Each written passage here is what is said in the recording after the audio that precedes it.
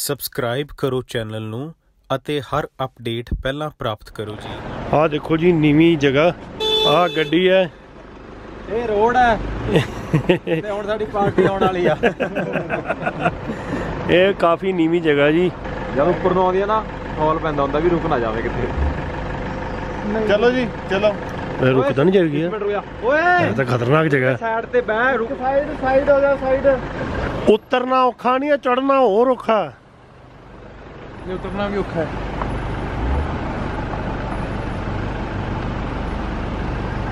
ਪ੍ਰਭੂ ਇਧਰ ਹੋ ਨਾ ਉਧਰ ਅਮਨ ਮੇਰੀ ਸਾਈਡ ਤੇ ਮੇਰੀ ਸਾਈਡ ਤੇ ਖੜ ਜਾ ਖੜ ਜਾ। ਉਹ ਕਹਿੰਦੇ ਵੀ ਐਦਾਂ ਨਹੀਂ ਜਦ ਤੱਕ ਉਹ ਥੰਬਸ ਅਪ ਕਰਨਗੇ ਨਾ। ਹਾਂ ਵੀ ਉਹ ਪੂਰਾ ਕਰਨਗੇ ਉਹ ਦੇਖੋ ਗੱਡੀ ਕਿੱਦਾਂ ਜਾ ਰਹੀ ਥੱਲੇ। ਬਹੁਤ ਖਤਰਨਾਕ ਢਲਾਨ। ਸੋ ਅਸੀਂ ਜਾ ਰਹੇ ਹਾਂ ਜੀ ਥੱਲੇ। ਬਹੁਤ ਸੰਭਲ ਸੰਭਲ ਕੇ। ਦੇਖੋ ਜੀ ਕਿੰਨੀ ਨੀਵੀਂ ਜਗ੍ਹਾ। ਮਤਲਬ ਖੂਬਸੂਰਤੀ ਹੈ ਪਰ ਬਹੁਤ ਖਤਰਨਾਕ ਖੂਬਸੂਰਤੀ। ਯਾਰ ਜਦੋਂ ਚੜਾਈ ਜਾਣੀ ਹੈ ਚੜ ਜੇਗੀ ਗੱਡੀ? ਬੜੇ ਅੱਛਾ। ਪ੍ਰਭੂ 2600 ਸੀਸੀ ਇੰਜਨ ਹੈ। 2800 2800 ਕੋਈ ਦਿੱਕਤ ਨਹੀਂ ਅੱਛਾ ਪਰ ਚੜਾਣੀ ਪੈਣੀ ਸਿੱਧੀ। ਕੋਈ ਦਿੱਕਤ ਨਹੀਂ। ਆਣ ਦਿਓ ਆਣ ਦਿਓ ਥੋੜਾ ਅੱਗੇ। ਹੌਲੀ ਹੌਲੀ ਪਰ ਸਹਜੇ ਸਹਜੇ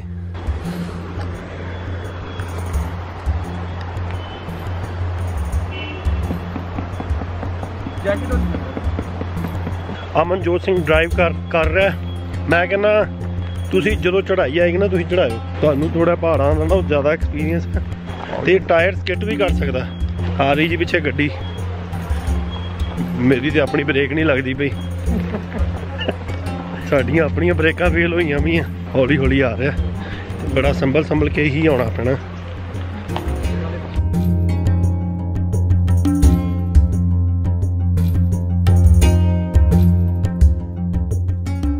ਇੱਧਰ ਲਾ ਦਿੰਨੇ ਮੈਂ ਕਹਿੰਦਾ। ਹਨਾ? ਬਹੁਤ ਔਖਾ ਸੀਗਾ। ਆਹੋ ਸਹੀ ਗੱਲ ਹੈ। ਮਤਲਬ ਪੂਰਾ ਦਾ ਪੂਰਾ ਪਹਾੜ ਹੀ ਉਤਾਰ ਕੇ ਲਿਆਏ ਸਿੱਧਾ ਹੀ ਥੱਲੇ। ਕਿੱਥੇ ਘੁੰਮ ਫਿਰ ਕੇ ਆਣਾ ਹੁੰਦਾ ਸਿੱਧੇ ਲਾਣਾ ਪਿਆ। ਇਹ ਜੋ ਚੜ ਚੜਨੀ ਹੈ ਗੱਡੀ ਕਿੱਦਾਂ ਚੜੇਗੀ ਯਾਰ? ਬੜੇ ਰਾਮ ਨੂੰ ਇਹ ਹੁਣ ਸਵੇਰੇ ਦੇਖਾਂਗੇ।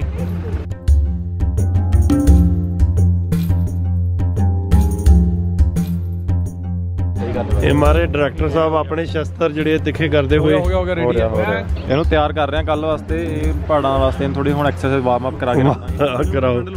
ਇਹ ਨਾ ਹੋਵੇ ਵਾਰਮ ਅਪ ਕਰਦਾ ਕਰਦਾ ਥੱਕ ਹੀ ਜਾਵੇ ਵਿਚਾਰਾ। ਹੈ? ਕਿੱਦਾਂ ਜੁਗਨੂਆਂ ਵਾਂਗੂ ਕਰਨ ਡਿਆ। ਇਹ ਲੱਖ ਰੁਪਏ ਕਿਲੋ ਹੈ। ਇਹ ਲੱਖ ਰੁਪਏ ਕਿਲੋ ਹੈ ਤੇ ਸਵਾ ਸਵਾ ਕਿਲੋ ਦਾ। ਅੱਛਾ ਜੀ।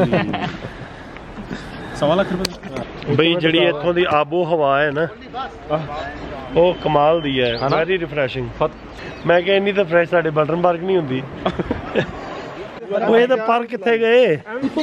ਇਹਨੂੰ ਠੰਡ ਲੱਗ ਗਈ। ਇੱਥੋਂ ਸੁੱਟੋ ਐ ਕਰਕੇ। ਉੱਥੇ ਜਾ ਕੇ ਨਹੀਂ ਐਕਟੀਵੇਟ ਇਹ ਨਾ ਹੋਵੇ ਐਕਟੀਵੇਟ ਹੋਵੇ ਨਾ ਤਾਂ ਨਹਿਰ 'ਚ ਪਿਆ ਹੋਵੇ। ਮੇਰੀ ਗੱਲ ਸੁਣੋ ਜੇ ਕਿਸੇ ਨੂੰ ਰੈਸਟੋਰੈਂਟ ਕਰਨੀ ਹੈ ਕਮਰਾ ਕੁਮਰਾ ਖਲਾ ਲਓ। ਕਰ ਲਓ ਇਹ ਥੋੜਾ ਟਾਈਮ ਲੱਗਦਾ ਸਵਾਦ ਆ ਰਿਹਾ। ਨਹੀਂ ਆ ਕਿ ਘੁੰਮ ਘੁੰਮ ਕੇ ਕੀ ਘੁੰਮ ਘੁੰਮ ਕੇ ਹੋ ਰਹੇ ਮੈਂ ਮਨ ਮਤ ਜੀ ਨਹੀਂ ਹੋਣੀ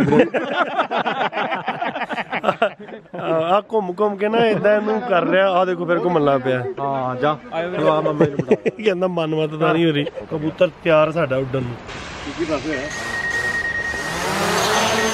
ਵਾਹ ਵਾਹ ਵਾਹ ਮੰਨ ਗਈ ਉੱਡ ਗਿਆ ਜੀ। ਕੀ ਬਾਤ ਹੈ ਜੀ।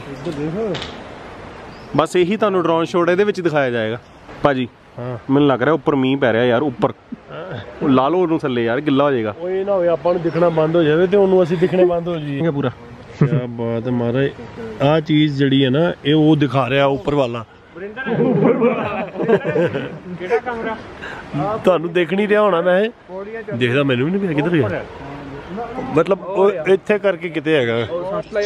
ਸਾਡਾ ਜਿਹੜਾ ਜਹਾਜ਼ ਆ ਉਹ ਉੱਡ ਪਿਆ ਹੋਇਆ। ਇਹ ਕੱਲ ਨੂੰ ਕੰਮ ਆਏਗਾ, ਚੰਗੀ ਤਰ੍ਹਾਂ ਉਡਾਰੀਆਂ ਮਾਰਨ ਲਈ। ਲਓ ਜੀ, ਥੱਲੇ ਆ ਗਿਆ ਕਬੂਤਰ। ਲਓ ਜੀ।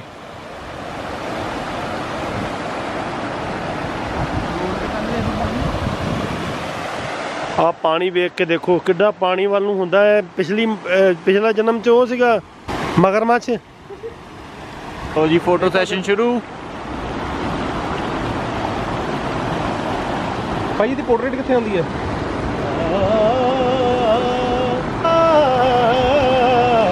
ਪੋਰਟਰੇਟ ਨਾਈਟ ਮੋਡ ਨਹੀਂ ਆਉਂਦਾ। ਸਾਡਾ ਰੂਮ ਦਿਖਾਈਏ ਤੁਹਾਨੂੰ। ਲੱਕੜ ਦੇ ਆ ਲੱਕੜ ਦੇ। ਵਾਹ ਜੀ ਵਾਹ ਕੀ ਬਾਤ ਹੈ ਭਾਜੀ ਬਿਊਟੀਫੁਲ ਉਪਰੋਂ ਦਿਖਾਓ ਛੱਤ। ਕੀ ਬਾਤ ਹੈ। ਪ੍ਰਭੂ ਇੱਥੇ ਮੈਂ ਪਿੱਛੋਂ ਦਿਖਾਉਣਾ ਕਿੱਦਾਂ ਪੈਣਾ? ਇੱਕ ਛੋਟਾ ਹੀ ਵੱਡਾ ਇੱਕ ਛੋਟਾ ਵੱਡਾ। ਮੈਂ ਤਾਂ ਸਿਮਰਨ ਭਾਈ ਨੇ ਫਿਰ। ਤੁਸੀਂ ਦੋਨੋਂ ਛੋਟੇ ਹੋ। ਵਾਹ। ਕੋਈ ਨਹੀਂ ਥੱਲੇ ਆ ਇੱਥੇ ਵਿਛਾ ਲੈਣੇ ਕੁਝ ਆ ਚੱਕ ਕੇ ਗੱਦੇ ਅੰਦਰ ਲੈ ਜਾਂਦੇ ਆ ਜੀ ਉਹ ਕਮਰਾ ਹੈ ਸਟਾਰਟਿੰਗ ਵਿੱਚ। ਅੱਛਾ? ਹਾਂਜੀ। ਉਹ ਇੱਕ ਇੱਧਰ ਵੀ ਕਮਰਾ ਹੈਗਾ। ਮੈਂ ਕਿਹਾ ਇਦਾਂ ਇੰਗਲੈਂਡ ਦਾ ਕੋਈ ਪਿੰਡ ਹੁੰਦਾ। ਭਾਈ ਚੰਗੀ ਤਰ੍ਹਾਂ ਬੜੀਏ ਜਾਂ ਫਿਰ। ਯਾਰ ਆਪਕਾ ਤਾਂ ਕੰਬਲ ਯਾਰ ਕੰਬਲ ਬੜਾ ਅੱਛਾ ਹੈ। ਕੰਬਲ ਬੜਾ ਚੈੱਕ ਵਾਲਾ ਹੈ। ਹਾਂ। ਜੀ ਇਹਦਾ ਬੋਨਫਾਇਰ ਦਾ ਆਨੰਦ ਲਿਆ ਜਾ ਰਿਹਾ। ਇਹ ਦਿਖ ਰਹੇ ਭਾਈ ਸਾਹਿਬ? ਆ ਬੋਨਫਾਇਰ ਲੱਕੜ ਨੂੰ ਅੱਗ। ਇਹ ਅਸੀਂ ਲਾਈ ਹੋਈ ਹੈ ਤੇ ਮੈਂ ਕਿਹਾ ਚਲੋ ਤੁਹਾਨੂੰ ਦਿਖਾ ਦਈਏ। ਰਾਤ ਦਾ ਮਾਹੌਲ ਹੈ ਜੰਗਲ ਦੇ ਵਿੱਚ ਅਸੀਂ ਬੈਠੇ ਹੋਏ ਆ ਤੇ ਅੱਗ ਦੀ ਸੇਕੇ ਲੈ ਰਹੇ ਆ ਬਿਕੋਜ਼ ਠੰਡ ਬਹੁਤ ਹੈ ਇੱਥੇ। ਹਾਂਜੀ। ਦਿਖਾਓ। ਵਾਹ ਵਾਹ। ਤੁਸੀਂ ਗਾਓਗੇ ਹੈ ਨਾ ਗਾਓਗੇ ਹੈ ਨਾ ਹਾਂਜੀ ਅਮਨ ਭਾਜੀ। ਕਿੱਦਾਂ? ਲੈ ਰਹੇ ਹੋ ਲੈ ਰਹੇ ਹੋ ਆਨੰਦ ਬੋਨਫਾਇਰ ਦਾ? ਹਾਂਜੀ ਮਾਰੇ ਪੂਰਾ। ਕੀ ਬਾਤ ਹੈ ਮਾਹੌਲ ਬਹੁਤ ਅੱਛਾ ਇੱਥੇ ਨਾ। ਬਹੁਤ ਵਧੀਆ। ਆਹ ਦੇਖੋ ਤੁਹਾਨੂੰ ਮੈਂ ਦਿਖਾਣਾ ਵੈਸੇ। ਦਿਖਣੀਆਂ ਤੁਹਾਨੂੰ ਲਾਈਟਸ ਹੀ ਨੇ। ਦਿਨ ਚ ਤੁਹਾਨੂੰ ਦਿਖਾਤਾ ਬਟ ਉਹ ਦੇਖੋ ਜੀ ਕਿੰਨਾ ਸੋਹਣਾ ਮਾਹੌਲ ਹੈ। ਵਾਹ ਵਾਹ।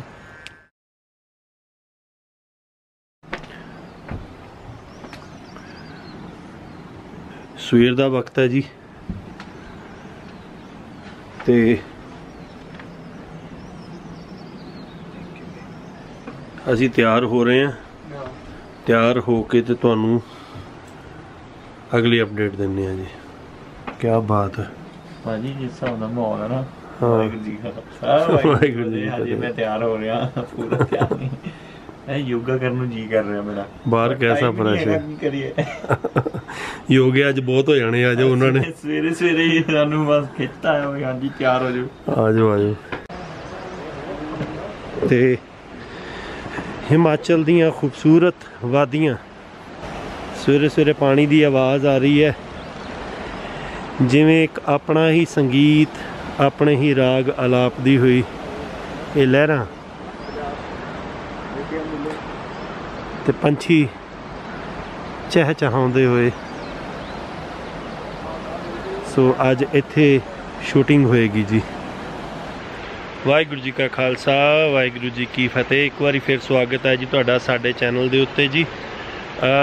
ਬਹੁਤ ਹੀ ਵਧੀਆ ਵੈਦਰ ਸਵੇਰ ਦਾ, ਠੰਡਾ ਮਿੱਠਾ ਵੈਦਰ ਹੈ ਜੀ। ਤੇ ਲਗਭਗ ਮੇਰੇ ਖਿਆਲ ਨਾਲ ਜਿਹੜੀ ਠੰਡ ਹੈਗੀ ਉਹ 5-6 ਡਿਗਰੀ ਹੋਏਗੀ ਮੇਰੇ ਹਿਸਾਬ ਨਾਲ।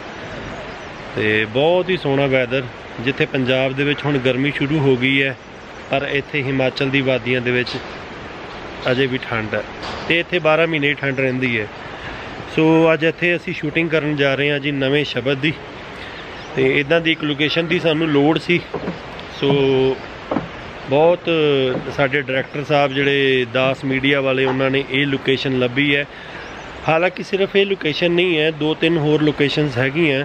ਜਿੱਥੇ ਜਾ ਕੇ ਅਸੀਂ ਸਾਰਾ ਸ਼ਬਦ ਸ਼ੂਟ ਕਰਨਾ ਹੈ। ਆ ਸ਼ੁਰੂਆਤ ਅਸੀਂ ਇੱਥੋਂ ਕਰਨ ਜਾ ਰਹੇ ਹਾਂ ਜੀ। ਤੁਸੀਂ ਵੇਖੋ ਪਿੱਛੇ ਦਾ ਮਾਹੌਲ ਕਿੰਨਾ ਪਿਆਰਾ। ਹਾਂਜੀ। ਵਾਹਿਗੁਰੂ ਜੀ ਕਾ ਖਾਲਸਾ। ਖਾਲਸਾ ਵਾਹਿਗੁਰੂ ਜੀ ਕੀ ਫਤਿਹ। ਕਿੱਦਾਂ ਮਹਿਸੂਸ ਹੋ ਰਿਹਾ? ਬਹੁਤ ਠੰਡਾ ਠੰਡਾ। ਹਨਾ? 5-6 ਡਿਗਰੀ ਤਾਂ ਹੋਏਗਾ। ਹੋਏਗਾ ਨਾ ਟੈਂਪਰੇਚਰ ਖਾਲਸਾ ਵਾਹਿਗੁਰੂ ਜੀ ਕੀ ਫਤਿਹ ਜੀ। ਰਾਤੀ ਵਿਚਾਰੀ ਜਿਹੜੀ ਬੋਨਫਾਇਰ ਸੀ ਉਹ ਵੀ ਠੰਡੀ ਹੋਈ। ਰਾਤੀ ਇੱਥੇ ਅੱਗ ਬਾਲੀ ਸੀਗੀ। ਤੇ ਬੜਾ ਹੀ ਆਨੰਦ ਬਣਿਆ ਸੀ। ਹਾਂ ਬਣਾਇਆ ਸੀ ਵਲੌਗ ਦੇਖੋ ਕਿਆ ਬਾਤ ਦੂਰ ਦੂਰ ਤੱਕ ਜਿੱਥੇ ਦੇਖੋ ਕੁਦਰਤੀ ਕੁਦਰਤ ਕੁਦਰਤ ਦੇ ਵਿੱਚ ਅਸੀਂ ਇਸ ਟਾਈਮ ਆਨੰਦ ਲੈ ਰਹੇ ਹਾਂ ਜੀ। ਜਿੱਥੇ ਕੁਦਰਤ ਹੈ ਉੱਥੇ ਕੁਦਰਤੀ ਗੱਲ ਹੈ ਵੀ ਸੁਭਾਅ ਦੇ ਵਿੱਚ ਬਹੁਤ ਮਿਠਾਸ ਆ ਜਾਂਦੀ ਹੈ ਬਹੁਤ ਸਹਿਜ ਆ ਜਾਂਦਾ ਹੈ। ਉਹੀ ਗੱਲ ਕਰਨ ਲੱਗਾ ਸੀ ਕਿੰਨਾ ਸ਼ਾਂਤਮਈ ਸੁਭਾਅ ਵੀ ਹੋ ਜਾਂਦਾ ਆ ਕਿੰਨੀ ਸ਼ਾਂਤਮਈ ਮਾਹੌਲ ਨੂੰ ਦੇਖ। ਹਾਂ। ਜਿੰਨਾ ਅਸੀਂ ਉਹ ਪੱਥਰ ਦੇ ਬਣਾਏ ਘਰਾਂ ਦੇ ਵਿੱਚ ਅਸੀਂ ਵੜਦੇ ਜਾਂਦੇ ਆ ਨੇਚਰ ਤੋਂ, ਕੁਦਰਤ ਤੋਂ ਦੂਰ ਹੁੰਦੇ ਜਾਂਦੇ ਆ ਉਨਾ ਹੀ ਸਾਡੇ ਸੁਭਾਅ ਦੇ ਵਿੱਚ ਇੱਕੋ ਪੱਥਰਪਨ ਜਿਹੜਾ ਕਠੋਰ ਸੁਭਾਅ ਸਾਡਾ ਹੁੰਦਾ ਜਾ ਰਿਹਾ।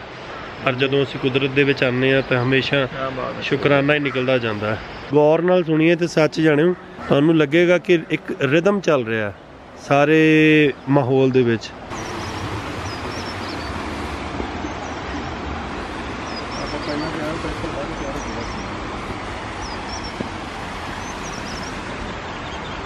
ਥੋੜਾ ਜਿਹਾ ਸੰਭਲ ਸੰਭਲ ਕੇ ਤੁਰਨਾ ਪੈਂਦਾ ਹਰ ਪਾਸਿਓਂ।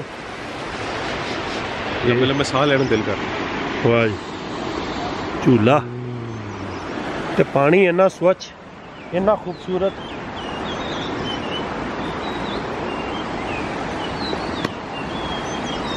ਬਸ ਬੰਦਾ ਅੱਖ ਬੰਦ ਕਰਕੇ ਤੇ ਬੈਠਾ ਰਵੇ। ਛੋਟਾ ਜਿਹਾ ਫੋਟੋ ਸ਼ੂਟ ਕੀਤਾ ਹੈ। ਹੁਣ ਅਸੀਂ ਚਾਹ ਪੀਣ ਚੱਲੇ ਆ ਉਸ ਤੋਂ ਬਾਅਦ ਫਿਰ ਸਾਡਾ ਅਫੀਸ਼ੀਅਲ ਸ਼ੂਟ ਸ਼ੁਰੂ ਹੋ ਜਾਏਗਾ। ਉਹ ਭਰਾਵਾ ਚੜਨਾ ਔਖਾ ਇੱਥੋਂ। ਆਏ। ਵਾਹ। ਵਾਹਿਗੁਰੂ ਜੀ ਕਾ ਖਾਲਸਾ ਵਾਹਿਗੁਰੂ ਵਾਹਿਗੁਰੂ ਜੀ ਕਾ ਖਾਲਸਾ ਵਾਹਿਗੁਰੂ ਜੀ ਕੀ ਫਤਿਹ। ਅਸੀਂ ਰੈਡੀ ਆ ਜੀ। ਆਹ ਲੋਕੇਸ਼ਨ ਆ ਸਾਡੀ। ਉਮੀਦ ਆ ਤੁਹਾਨੂੰ ਪਸੰਦ ਆਊਗੀ।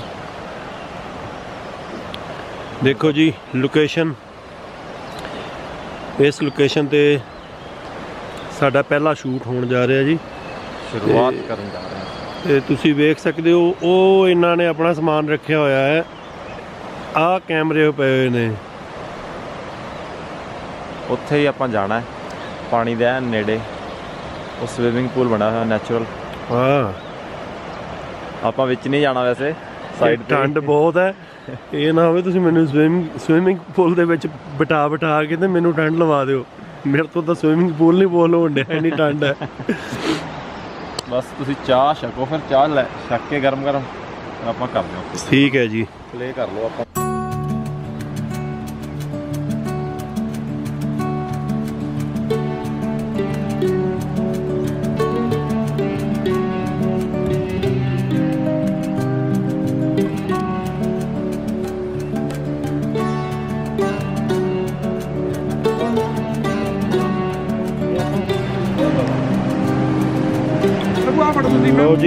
ਗਲੀਚਾ ਵਿੱਚ ਚੁੱਕਾ ਹੋਇਆ ਤੇ ਲੋਕੇਸ਼ਨ ਪਿੱਛੇ ਦੇਖ ਲਓ।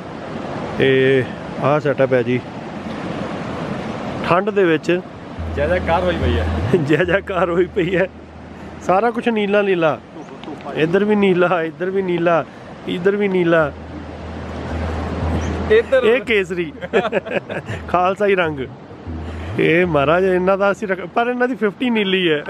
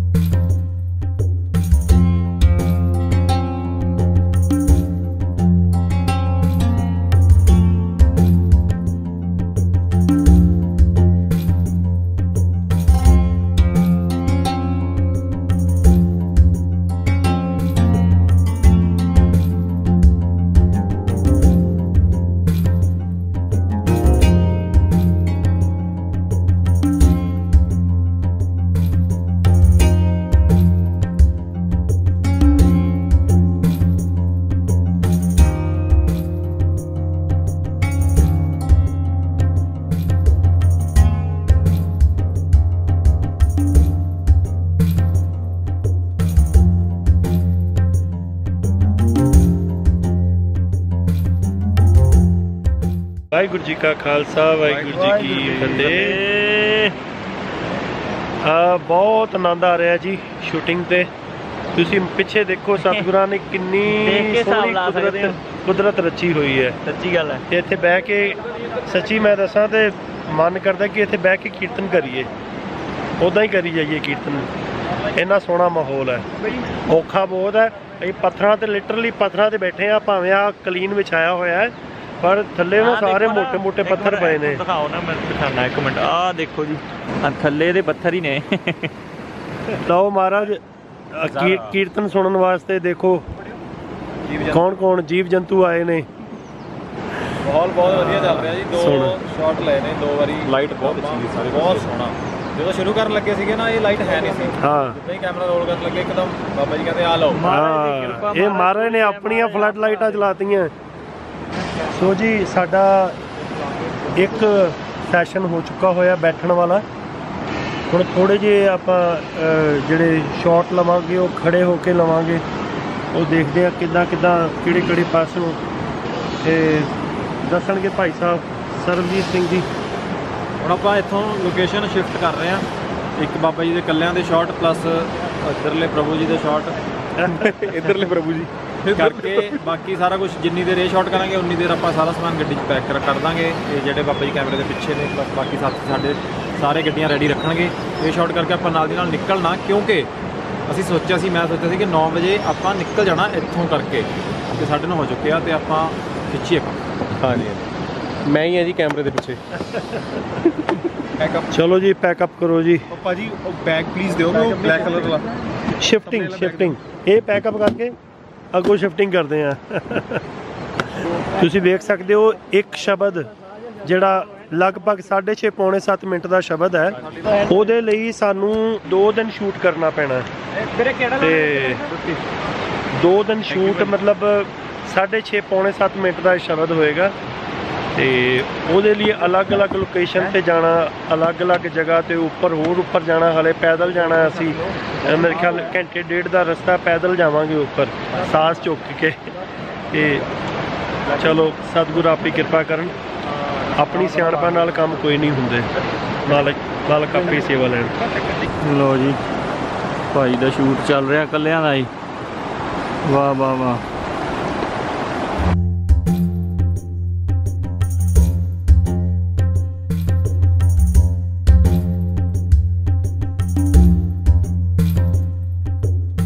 ਸਾਰਾ ਕੁਝ ਵੇਖ ਕੇ ਨਾ ਮਨੁੱਖ ਤੇ ਖੁਸ਼ ਹੁੰਦਾ ਹੀ ਹੈ। ਮੈਨੂੰ ਇਦਾਂ ਲੱਗਦਾ ਕੁਦਰਤ ਵੀ ਬਹੁਤ ਖੁਸ਼ ਹੈ ਇੱਥੇ। ਸਹੀ ਇਹੋ ਜਿਹੇ ਮਾਹੌਲ ਦੇ ਵਿੱਚ ਜਦੋਂ ਆਪਾਂ ਕੁਦਰਤ ਨਾਲ ਛੇੜਖਾਨੀ ਨਹੀਂ ਨਾ ਕਰਦੇ ਉੱਥੇ ਇਸ ਤਰ੍ਹਾਂ ਲੱਗਦਾ ਕੁਦਰਤ ਆਪਣੀ ਹੋਰ ਮਿਹਰ ਵਰਸਾ ਰਹੀ ਹੈ ਹੋਰ ਕਿਰਪਾ ਵਰਸਾ ਰਹੀ ਹੈ। ਇੱਥੇ ਦੀ ਧੁੱਪ ਮੈਂ ਸੇਕ ਰਿਹਾ ਸੀਗਾ ਇੰਨਾ ਚੰਗਾ ਲੱਗ ਰਿਹਾ ਸੀਗਾ ਨਾ। ਇੱਥੇ ਦੀ ਠੰਡ ਵੇਖੀਏ ਤਾਂ ਇੰਨੀ ਅਸਰ ਕਰਦੀ ਹੈ ਸਰੀਰ ਨੂੰ ਸੋਹਣਾ ਅਸਰ ਮਤਲਬ ਪੋਜ਼ਿਟਿਵ ਅਸਰ ਕਰਦੀ ਹੈ। ਹਰ ਚੀਜ਼ ਪੋਜ਼ਿਟਿਵ ਹੈ ਇੱਥੇ। ਵਾਹਿਗੁਰੂ।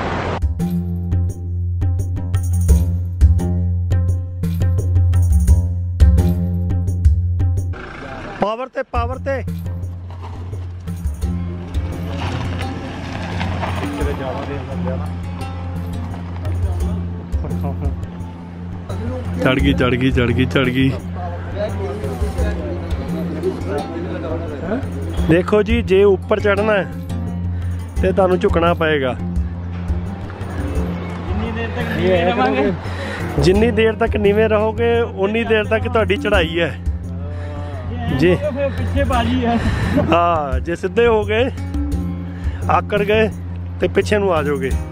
ਸੋ ਉੱਤੇ ਚੜਨ ਲਈ ਝੁਕਣਾ ਪਏਗਾ। ਸਮਝ ਗਏ ਗੱਲ? ਜੇ ਜ਼ਿੰਦਗੀ 'ਚ ਕਾਮਯਾਬ ਹੋਣਾ ਹੈ, ਤੇ ਵਿਨਮਰ ਰਹੋ, ਨਿਮਰਤਾ 'ਚ ਰਹੋ। ਭਾਵੇਂ ਸਾਹ ਸਾਹ ਹੋ ਜਾਓ।